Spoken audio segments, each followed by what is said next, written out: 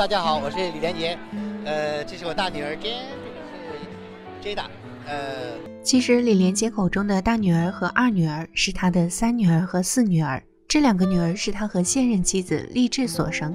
他和前妻黄秋燕也有两个女儿，李斯和李台蜜。相比之下，黄秋燕的两个女儿如同查无此人。李连杰极少在公众场合谈他们，同是李连杰的女儿待遇却天差地别。甚至得不到承认。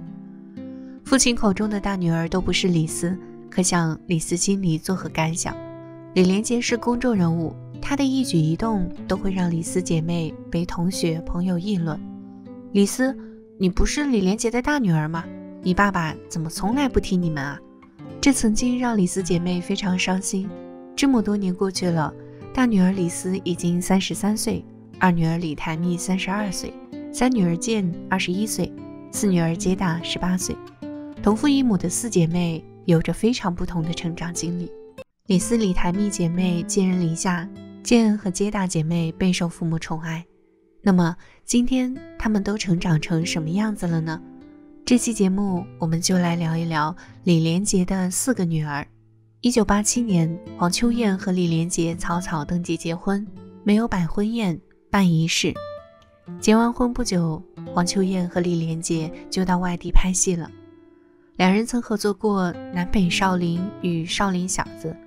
不久之后，黄秋燕就在美国为李连杰生下两个女儿，李斯与李台蜜。二女儿李台蜜出生后，李连杰结识了励志，瞬间情感沦陷了，甚至说以前不懂爱情，遇到励志才知道什么是爱情。黄秋燕最后无奈离婚，选择成全李连杰。出于愧疚，李连杰选择净身出户，将在美国的房产都留给了黄秋燕，两个女儿的抚养权归李连杰。黄秋燕没有收入来源，无力偿还每个月高额的房贷。后来房子被银行收走了，自己住进了地下室。为了生存，她只能去打工。语言不通的她，在美国只能去餐馆当服务员。后来当上了美容师。刚离婚的那段时间里，她整日以泪洗面，很长时间走不出李连杰的阴影。没有丈夫，没有孩子，没有家庭，没有事业，没有住处，没有亲人。她想回国，但是一想到回国要面对巨大的舆论压力，于是她宁愿躲在美国，远离熟人朋友，远离议论。很长时间内，黄秋燕都不敢看李连杰的新闻，但是她又忍不住去看了。一九九九年，李连杰终于抱得美人归。李连杰和励志高调结婚的消息迅速占据了娱乐头条。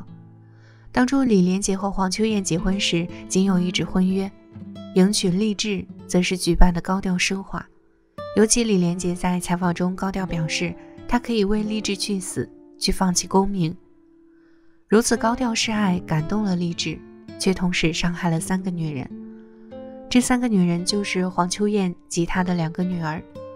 黄秋燕被伤得遍体鳞伤，这也导致李斯和李台蜜从小就失去父爱。于是港媒用简短的十字嘲讽：“情义千金，不敌胸脯四两。”李连杰拿到两个女儿的抚养权后，就将孩子送回北京，由他母亲照顾。李斯三岁后就和妹妹跟着奶奶一起生活。李斯姐妹是由奶奶一手带大的。李连杰每次回家都是来去匆匆，虽然每年与父亲见面的时间很少，但每当邻居向李斯姐妹提起李连杰时，他们总是会露出无比骄傲的表情。然而，二零零零年，也就是李连杰与励志结婚的第二年，李连杰的母亲过世。在葬礼上，李斯和妹妹哭到差点晕过去。这些年，奶奶才是这两姐妹的家长。奶奶不在了，李连杰提出将两个女儿接到身边抚养。彼时的李斯对父亲已经非常疏离，且怀有很深的成见。他崩溃地大喊：“我们不会去你家住的！”一个十二岁的孩子管爸爸家叫你家，认为奶奶家才是自己家，可见这两个孩子跟父亲的距离。最后，李连杰选择将姐妹二人送进了一所北京贵族寄宿学校，由李连杰的姐姐们接着来照顾他们。李斯姐妹住在学校，李连杰却从未出现过一次。学校开家长会，都是姐妹俩的伯伯、姑姑前来参加。两个孩子的性格变化很大，从开始的外向到后来的内向，从一开始非常以父亲骄傲，到后来都不愿意提自己的父亲是李连杰。曾经有记者问过李连杰，对于前妻所生的两个女儿弃之不顾，李连杰对此进行了回应：“我从来未曾逃避自己作为父亲的责任。”尽管由于工作繁忙等原因，没能时常亲自探望他们，但长期以来都委托自己的亲戚朋友对他们多加照顾。现在两个女儿由我的哥哥姐姐帮忙照顾，学费及生活费都由我来负担，并不像某些报道所说的那样对他们弃之于不顾。在吃穿用度上，李连杰确实没有亏待过这两个女儿。李连杰不仅抚养了自己的两个孩子，他还抚养了他哥哥姐姐的孩子们。李斯姐妹缺的不是物质，而是父爱。两个女儿甚至不能跟自己的父亲一起生活，请问这是一个正常的成长环境吗？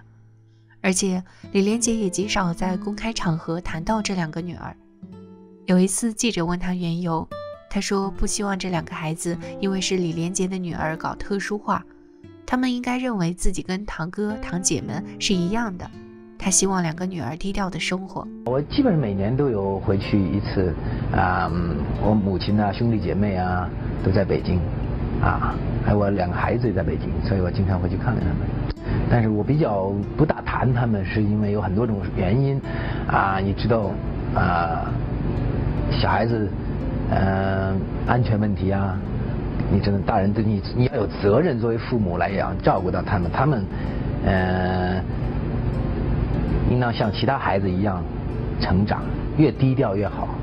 要太高调了，他们会自己无形当中有一种跟别的同学不一样啊，什么这这些对于孩子的成长都不是很好。我觉得应当让他们感觉到跟我哥哥姐姐们的孩子是一样的，嗯，平常的，在一个环境中长大，教育，嗯，这是这些，我觉得是对他们成长有好处。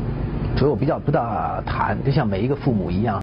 李连杰的这番话，猛地一听好像有点道理，但是后来看李连杰高调带着励志的两个女儿出席活动，才知道也许他的说辞只是借口，还是对这两个女儿不够关注。离婚后，李斯两姐妹先是由奶奶抚养了十年，奶奶去世后，两姐妹又由伯伯、姑姑接着抚养，直到中学毕业来美国读书，才回到母亲黄秋燕的身边。这时黄秋燕已经再婚。看看黄秋燕找的第二任丈夫王先生，就知道李连杰当年伤她有多深。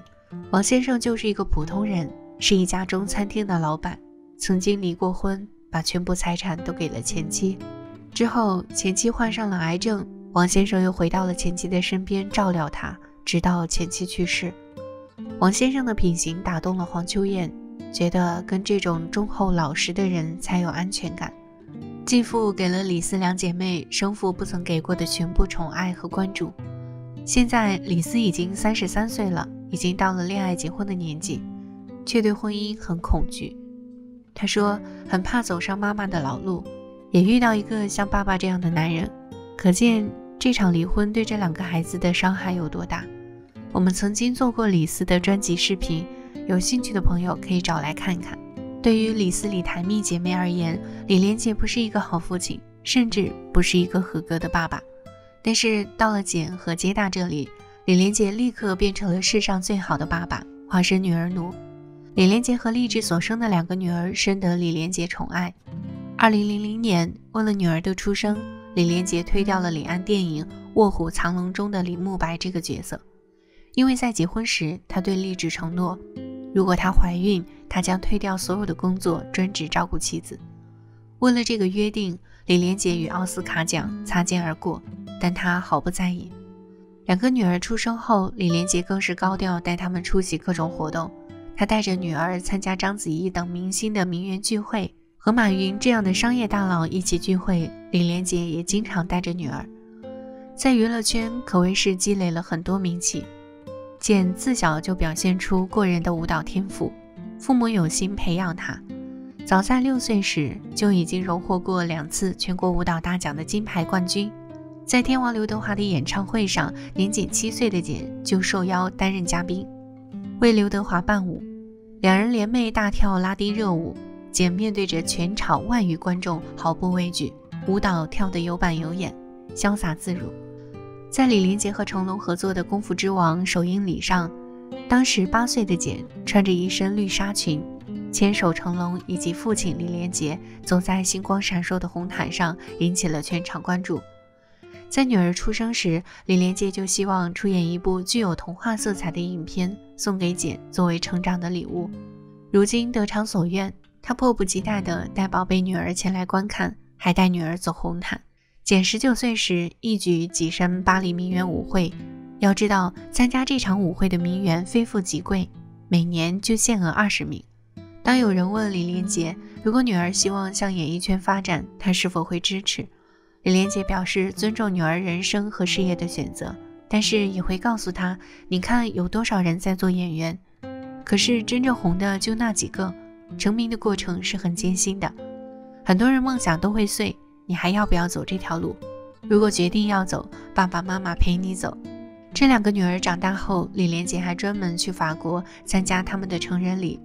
拍《花木兰》时，也是因为女儿的一句话，希望爸爸可以去拍《花木兰》。李连杰就去拍了。大家好，我是李连杰，呃，这是我大女儿 Jane，这个是 Jada，呃，就是他们两个让我拍这个电影的，我非常的高兴能够把中国的文化通过一个中国的故事向全世界去分享。相比之下，李斯两姐妹见父亲一面都不容易，看着父亲带着两个年幼的妹妹在媒体上大秀父爱，他们会有怎么样的成长经历？难道？不会觉得自己被父亲遗忘了吗？现在在听李连杰当年的那番话，之所以不提李四姐妹，是不想女儿搞特殊化，是不是觉得有点讽刺？李连杰和励志的女儿在荧幕上活跃高调，反观李连杰与黄秋燕所生的女儿低调内敛，很少有动态。李四姐妹就像隐形人一样，常年寄人篱下，敏感多思，跟父亲疏离。虽然都是李连杰的女儿，但同父异母的四姐妹的待遇却是天差地别。尽管李连杰一直抚养着与黄秋燕的女儿，提供他们优渥的生活，但恐怕唯一不能给予的就是父爱。而李连杰与励志的孩子则从小享受父母的宠爱，不到一岁就安排了家教，更有李连杰的各种资源可以用。李连杰守护着与励志的四口之家的团圆时。可曾想到另外两个女儿呢？李连杰婚变受伤害最大的，恐怕就是他和前妻的两个女儿了。李连杰既然选择追求真爱，不说应该对这两个女儿更好来弥补他们，也应该一碗水端平才对。毕竟这两个孩子是因为你才失去完整家庭的。现在四姐妹的现状如何呢？简已经二十一岁了，目前在哈佛读书，她收到了多所名校的录取通知书。最终选择进入哈佛求学。现在她也是大学中的积极分子，而且在社交网络上非常活跃。杰达今年也十八岁了，他的成绩也非常好，但他有抑郁症，这让李连杰夫妇很着急。两个女儿都非常优秀，幸运如他们，一生都被童年治愈。李连杰与黄秋燕的大女儿李斯已经三十三岁，二女儿李台蜜已经三十二岁，他们已经工作了。他们非常低调内敛。李斯对母亲坦白，他对婚姻不抱信心，怕自己成为下一个黄秋燕。不幸的他们可能要用一生去治愈童年。李斯姐妹跟一起长大的堂兄妹的关系非常好，跟继父的两个儿子也相处得很好，就是不知道他们跟自己同父异母的两个妹妹的关系如何，或者说他们根本没有关系呢？希望父辈的恩怨不会影响他们四姐妹的关系。这里是有耳工作室，我们下个故事不见不散。